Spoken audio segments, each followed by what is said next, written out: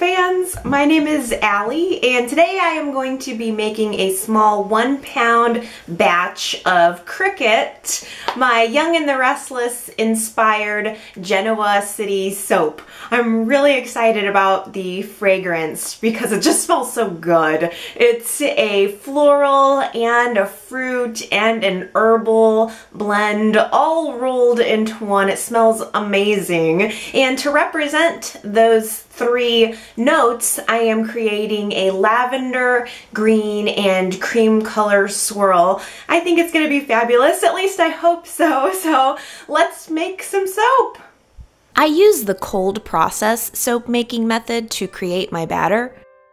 I've combined the oils, butters, and lye water off screen using an immersion blender. I'm separating my batter into three different containers to make three different colors. One of the containers will be left as the natural creamy white color of the soap. Into this one, I'm adding a few drops of pre-dispersed ultramarine violet. And into this one, I'm adding a few drops of pre-dispersed chromium oxide green.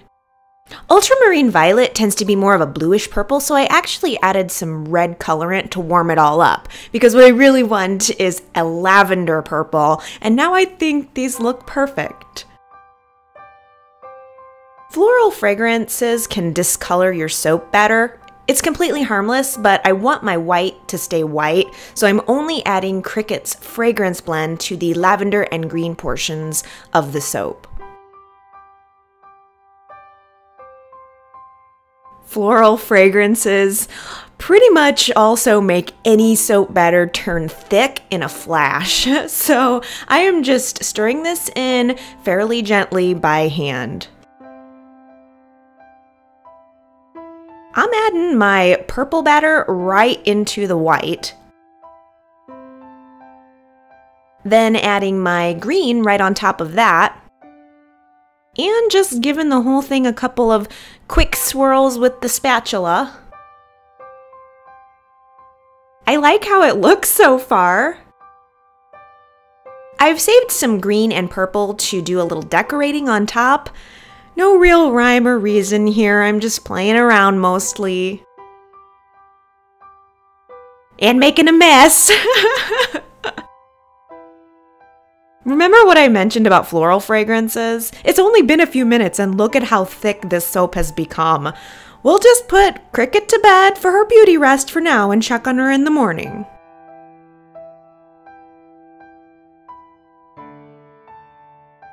Well,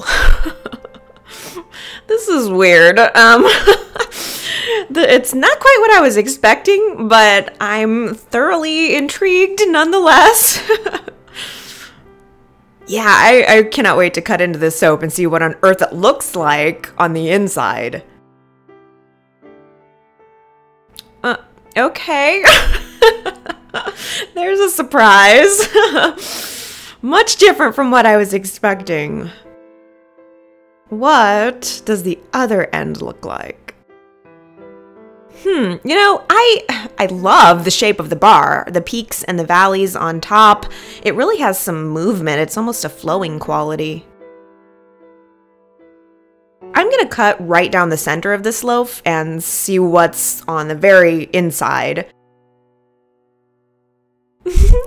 I think I see some squiggly lines in there. It's really neat looking. Each soap um, is its own little unique abstract painting. I would probably never be able to duplicate the way this turned out. So it's kind of cool that each Cricket will have its own little personality.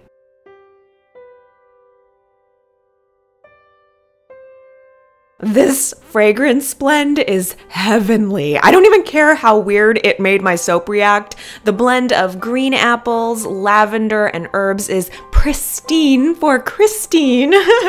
really, this might be one of my favorite fragrances ever. I chose to blend fruit, floral, and herbal notes to represent Christine because they're earthy and all American, just like the bug. If you'd like to hear the story behind this fragrance blend and my original design idea, check out the Essence of Cricket video on this channel. On a side note, the green color in Cricket's soap matches the green color in Paul's soap, and you can see the making of Paul's soap. That video is right here on the Genoa City Soap channel too. Last cut! The soap is fresh, it's ageless, it's lovely. I think it's Cricket. Thank you guys so much for watching, sharing, liking, and subscribing. I'll be back soon with more Genoa City soap.